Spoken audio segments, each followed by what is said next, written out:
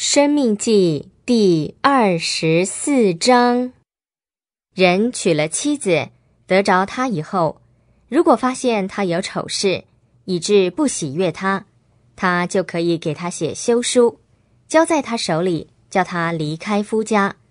他离开夫家以后，就可以去再嫁别人。如果后夫又恨他，也给他写休书，交在他手里，叫他离开他的家。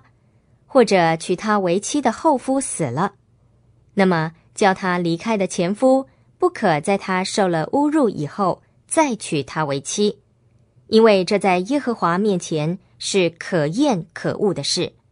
你不可使耶和华你的神赐给你做产业的土地蒙受罪污。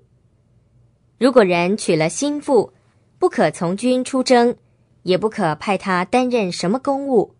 他可以在家赋闲一年，使他所娶的妻子快乐。不可拿人的魔，或是上魔石做抵押，因为这等于拿人的生命做抵押。如果发现有人拐带了以色列人的一个兄弟，把他当作奴隶看待，或是把他卖了，那拐带人的就要处死。这样你就把那恶从你中间除掉。在大麻风的灾病上。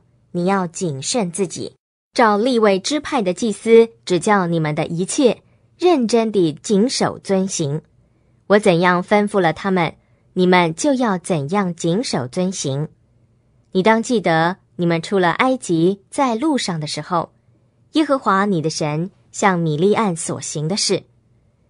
如果你借东西给你的邻舍，不论所借的是什么，总不可走进他的家里去拿抵押。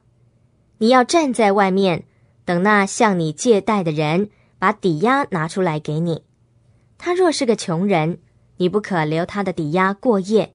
到了日落的时候，你要把抵押品还给他，好使他可以用自己的衣服盖着睡觉。他就给你祝福。这在耶和华你的神面前，就算是你的义了。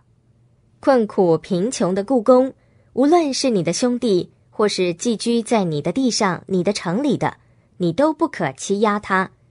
你要当日给他工钱，不可等到日落，因为他贫穷，把心放在工钱上，免得他对你不满而呼求耶和华，你就有罪了。不可因儿子的罪处死父亲，也不可因父亲的罪处死儿子。个人要因自己的罪被处死。你不可向寄居的。和孤儿屈枉正直，也不可拿寡妇的衣服做抵押。你要记住，你在埃及做过奴仆，耶和华你的神把你从那里救赎出来，所以我吩咐你要遵行这话。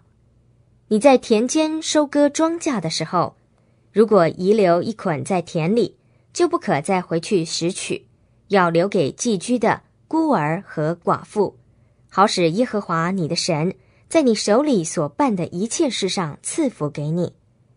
你打橄榄树以后，枝上剩下的不可再打，要留给寄居的孤儿和寡妇。